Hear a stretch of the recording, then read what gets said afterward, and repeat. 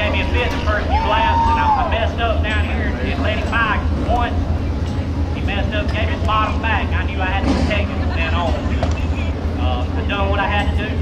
I, I got to thank Jared Jones, man. He, he went to Cherokee race, the street stock race, and I asked him earlier in the week if I could borrow some tires because I wanted to bring my car back out. He called me the next day and said, I'll bring you my car and you run the whole thing. So uh, we checked over it. Everything looked good on it. And obviously it is good. That's look. It looked real good. How about the racetrack tonight? It's good. You can move around if you wanted to. But I was scared to get off that bottom. I just wanted to protect it because I was, I was tad loose. Just made sure I hit my marks and, and held a good position. You got loose. Jamie got up under you one time, and then looked like he was going to get the lead, and then you fought right back. You never gave up. That's right, Jamie. He rode me clean the first few laps. He would have had it.